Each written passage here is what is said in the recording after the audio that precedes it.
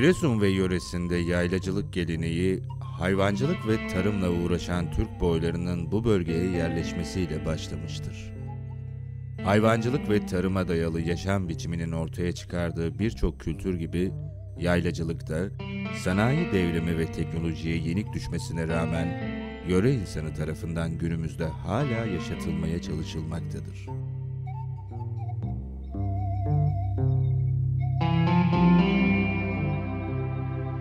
Ben e, Ali Kurucam. E, köyde aşağı yukarı 100 tane koyunlarım var. Bunları Tirebolu Badavözlü köyünde bakmaktayım. Aşağı yukarı baba yadık, baba mesleği olarak devam ediyorum. Bir 35 senedir bu işi kendim, bilhassa kendim yapıyorum. E, köyde koyunları fındık bahçelerinde yayarız. Ondan sonra e, kar yağdığı zaman da saman alırız. Saman veririz, yem veririz. Ondan sonra kışla dediğimiz hani tikene, böğürtlene götürürüz müsait olursa havalar. Sonra e, alaf budarız. Pelid alafı olarak geçer bunlar. Hem koyuna hem kuzuya yediririz. Kışın bu şekilde bakar. E, yaz geldiği zaman da işte yine fındık bahçesinde o yeşermesiyle beraber tekrar koyunları fındık bahçesinde bakmaya devam ederiz.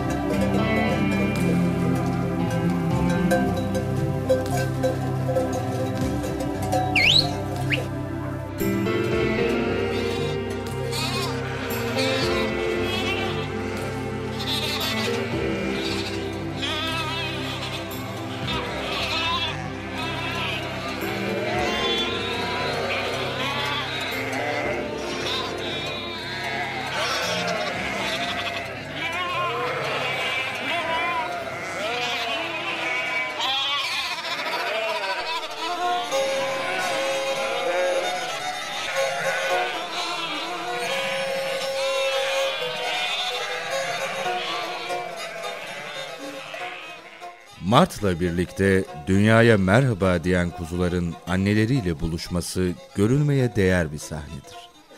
Saniyeler içinde onlarca kuzu, onlarca koyun arasında kendi annesini buluverir. Bu buluşma kuzuların karnını doyurabilmesi için yaklaşık bir saat sürer. Süre bittiğinde kuzular çobanın uyarısıyla annelerinden ayrılıp tekrar ahırlarına geri dönerler.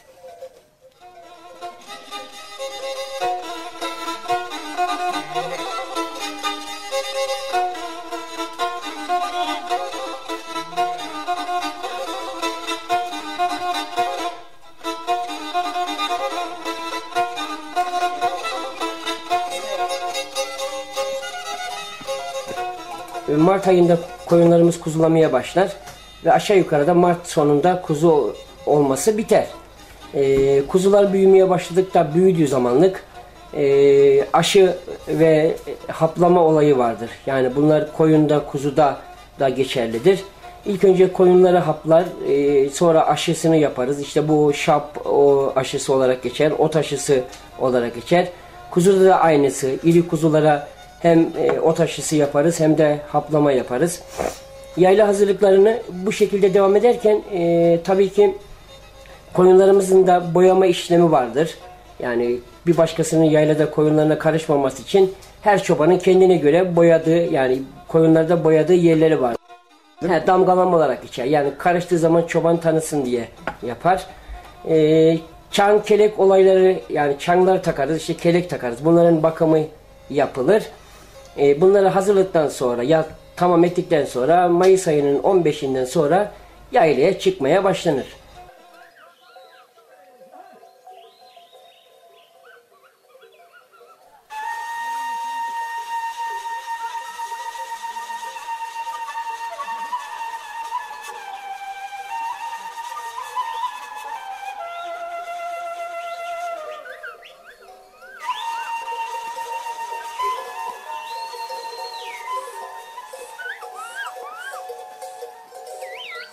Günün ilk ışıklarıyla birlikte yaklaşık üç gün sürecek olan yolculuk da başlamıştır. Yeşilin binbir tonuyla dolu yollarda koyunları ikna etmek o kadar da kolay değildir. Ancak düzeni bozmadan yol almak gerekmektedir.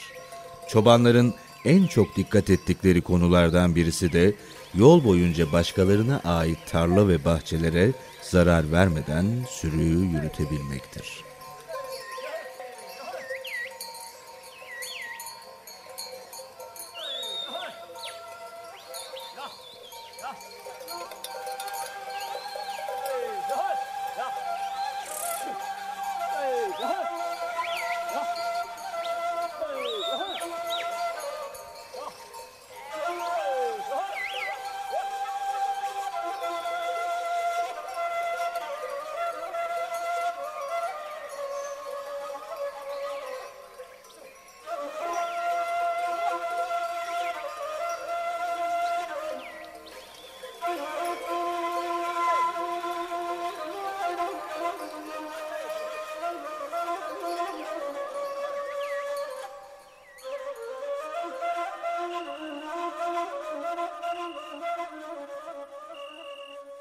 Sürü ve çobanların yürüyüş sonrası konakladıkları yerlere düşün yeri de denmektedir.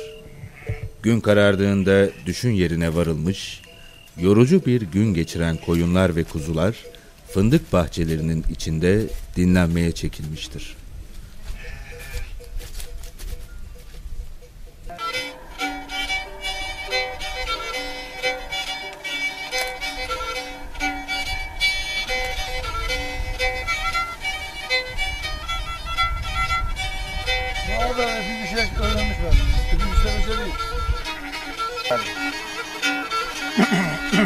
Sağlam durmuşsun ama uykun geliyor.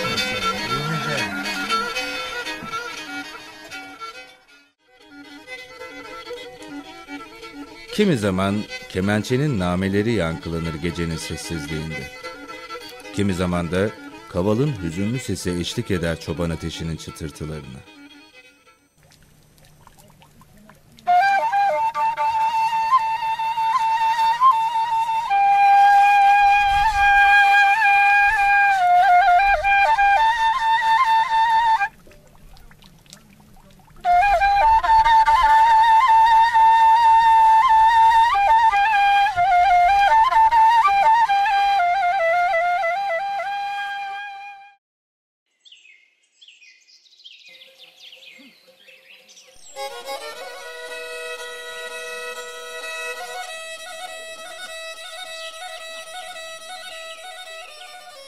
Günün ağarmasıyla birlikte sürü, akşam karanlığına kadar sürecek olan zorlu bir yolculuğa yeniden başlar. Uzun, çetin bir gün beklemektedir çobanları ve koyunları.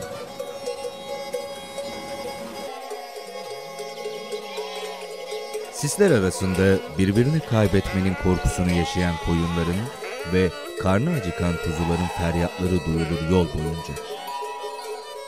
6 saatlik yürüyüşün ardından yorulan hayvanların dinlenebilmesi için küçük bir mola zamanı gelmiştir artık.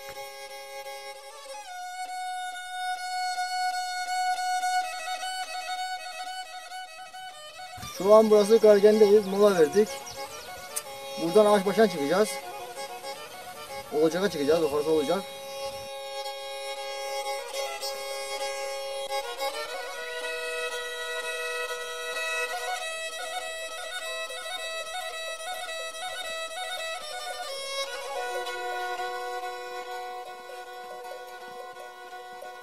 Gün boyu yol almaktan yoruldukları her hallerinden belli olan koyunlar, bir yandan da yol boyunca karınlarını doyurma telaşındadırlar. Nihayet bir gece konaklayacakları yayla yerleşmelerinin başlangıç bölgesi olan Ağaçbaşı Yaylası'na gelinir. Giresun'da yaylalar 1500-1600 metre yükseltiden itibaren başlar dağların zirvelerine kadar devam eder. Ki Giresun'un en yüksek zirvesi 3200 metre civarında olan Karagöl kütlesidir. E, bu kütlenin eteklerinde e, yayla yerleşmelerine rastlamaktayız. Ancak e, Giresun dağlarının bütün her yerinde de yayla yerleşmesi yoktur. Bazı nedenlerden dolayı yayla yerleşmeleri belli noktalarda daha fazla olmakta, bazı yerlerde de çok az yayla yerleşmesi görülmektedir. Örneğin ormana yakın olan yerlerde çok sık yayla yerleşmelerine rastlamaktayız. Çünkü yayla halkı yapacak ihtiyacını ormanlık alandan temin etmektedir. Yayla evlerine de baktığımızda kullanılan malzemeler, bunların inşasında kullandığı, kullanılan malzemeler genellikle taştır veya ahşaptır. Yayla meskenleri kurulurken bu malzemelerden yararlanıldığı için ormana yakın olan alanlar tercih edilmiştir. Pek çok yerde, pek çok yüzey şeklinin olduğu yerde yayla yerleşmeleri kurulmakta. Bunu görüyoruz. Ancak en önemli faktör geniş çayır alanlarının varlığıdır. Eğer hayvanların besleneceği, otlanacağı yerler olmazsa yayla yerleşmeleri de bu alanlara kurulmayacaktır. Onun için e, Giresun'da e, 1500-2000 metre yükseltiden itibaren e, geniş çayırlık alanları söz konusudur. E, daha düşük yükseltiler ormanlarla kaplı olduğu için bu alanlar tabii ki yaylacılık için uygun değildir. Şimdi yaylaya gittiğim yani yaylaya vardıktan sonra işte yani e, hazırlıkta tabii ki orada başlar. Yani ilk önce işte şöyle diyeyim koyunun batlarını yani biz koyunun ağıl veya bat olarak geçer. Bunları tamiri başlar. İşte koyunun e, başına yani boğazına taktığımız işte çan keleklerin tekrar hani geriye dönüş olduğu zaman hazır olması için kaybolmaması için çıkarılması baş, yapılır, çıkarılır. Ondan sonra da yayladaki normal bir hayata tekrar e, hayat devam eder.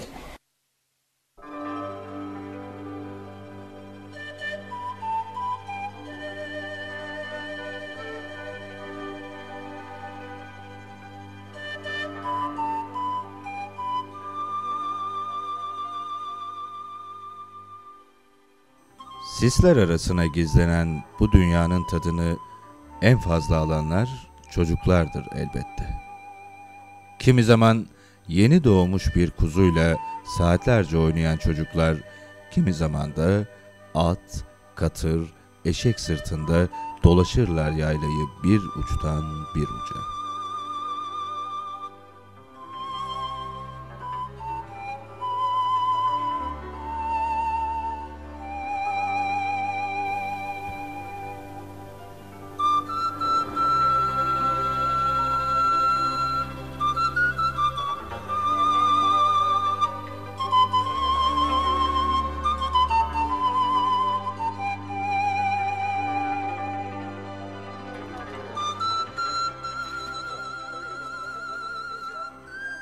Bazı ihtiyaçların karşılanabilmesi için yaylalarda haftanın belirli günlerinde pazar yerleri kurulur.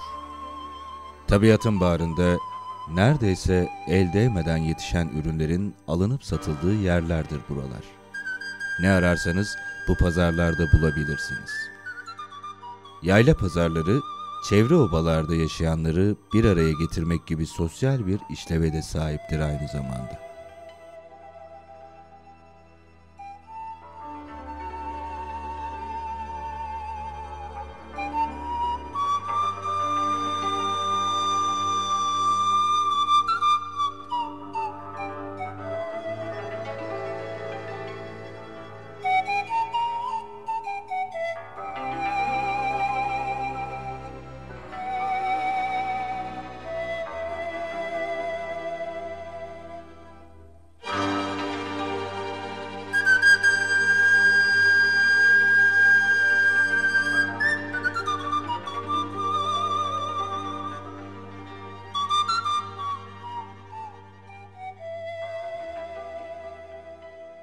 Yaylada sabah erken saatlerde başlar yaşam. Bazı çobanlar çoktan sürülerini önüne katmış, uçsuz bucaksız çayırların, vadilerin yolunu tutmuştur bile. Bazıları da koyunlarını salmak için son hazırlıklarını yapıyor ağıldı.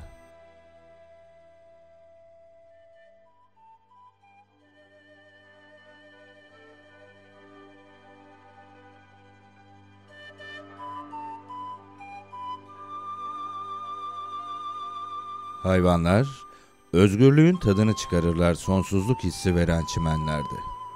Herkes halinden memnundur. Günler sıradan gibi görünse de bir sürprizle karşılaşmanız an meselesidir.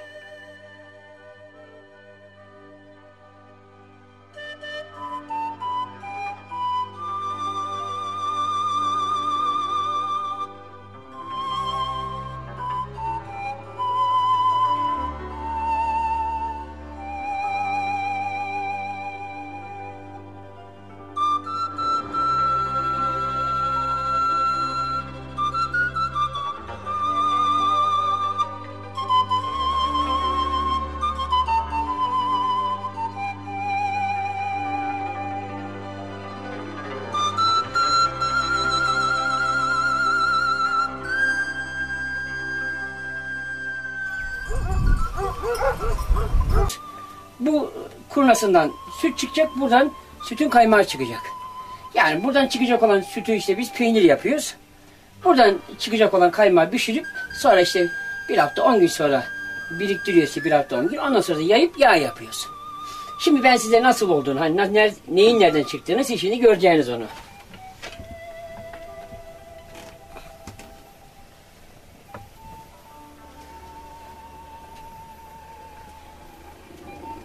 İşte bir süre çevireceğim onu yani hızlanacak makinenin içerisindeki çarkları. Ondan sonra e, kurnayasını açacağım sütün. Ondan sonra çıkmaya başlayacak yani bir tarafa süt bir tarafa kaymak. Çevirmeye bu kolu çevirmeye başlayınca içerisindeki çark kendiliğinden hızlanıyor.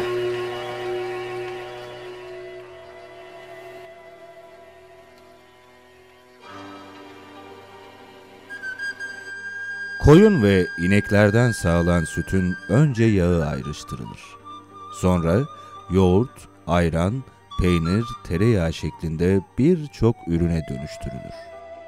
Bu ürünlerin içerisinde hiçbir katkı ve kimyasal madde olmaması ise en büyük özelliğidir. Hocam buraya akan sütün yani yağ oranı sıfır. Yani burada hiç yağ oranı yok.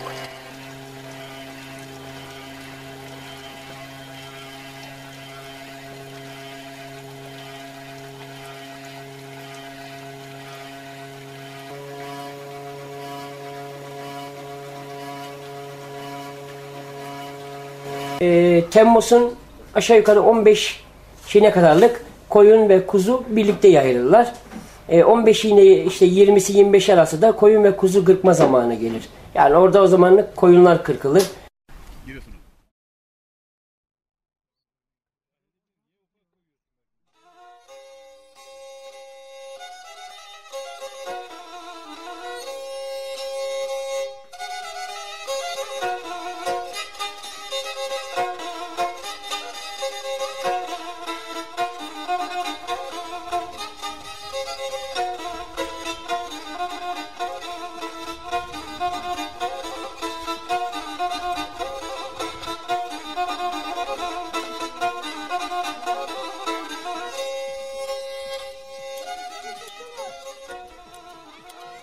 Koyunlar sadece sütleriyle değil, yünleriyle de üretime katkı sağlamaktadır.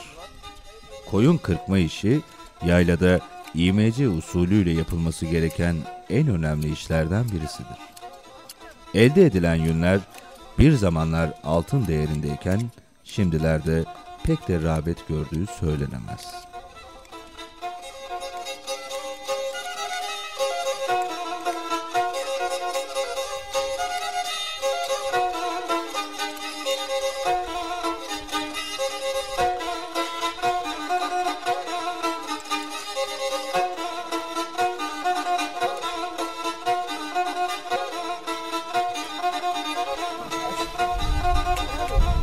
Hidayet. Soyadım Yavuz Aslan. Ee, Görele'nin Çıtakkırı köyünden geliyorum. Kazık Beylası'nda hayvanlarımızı otlatıyoruz. Obamızın adı Şığı Yurdu. İşte makazımız koyun kırpma makazı. İşte günde e, 35'e yakın koyun kırkıyoruz. Yine 4-5 kilo alan oluyor. Alan olmazsa da zaten toptan veriyoruz. İşte sahillere gidiyor. Esbiye, Tirebolu, Görele gibi yerlere dışarı gidiyor.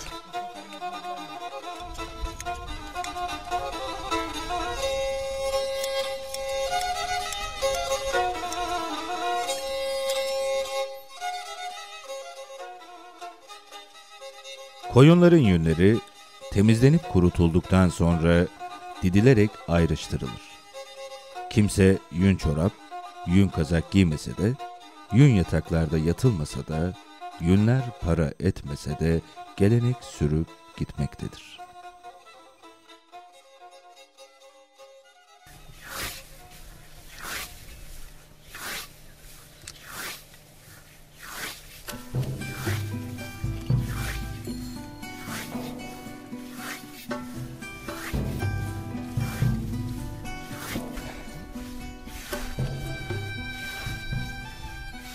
Yayladan dönüş vakti yaklaştıkça kış endişesi de başlar.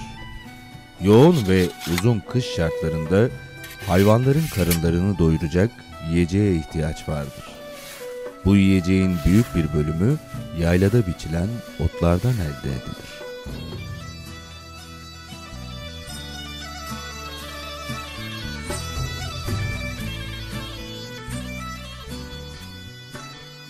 Karadeniz kadını her işte olduğu gibi ot biçmede de erkeğinin yanındadır.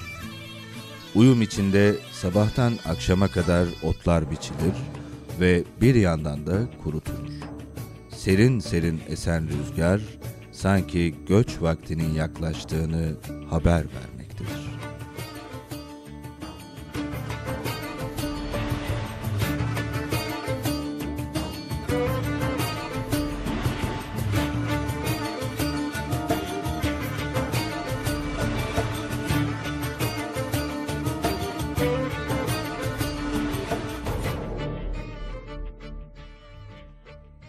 Kurutulan otların balyalanması işlemi vardır sırada. Yine kadın erkek bir arada omuzlar yükü. Kamyonların sırtında bir santimlik boşluğa bile tahammül yoktur. Bu yüzden balyalar iyice sıkıştırılmalı ve istiflenmelidir.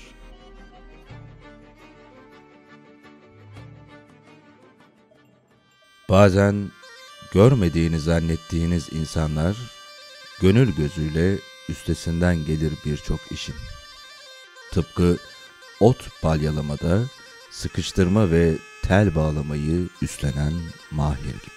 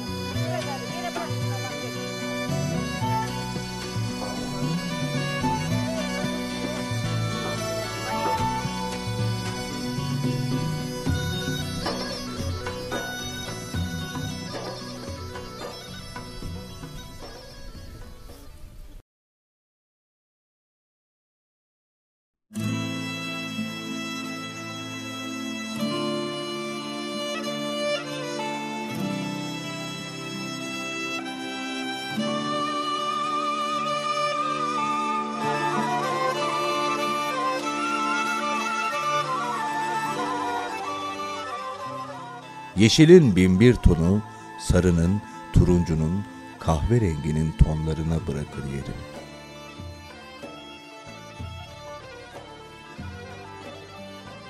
Ve çoban kovan çiçekleri açtığında son sürünün de yayladan ayrılma vakti gelmiştir artık.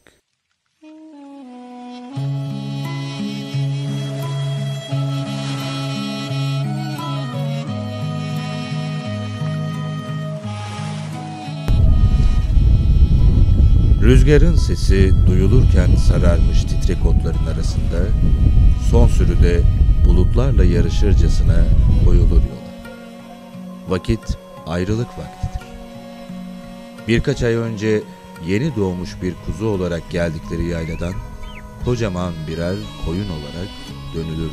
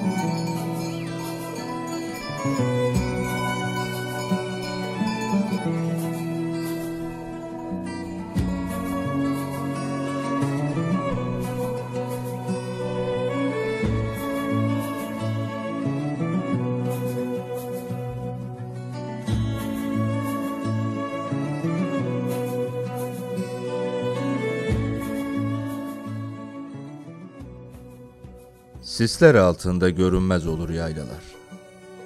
Belki de yalnızlığını gizleme telaşındadır. Kim bilir?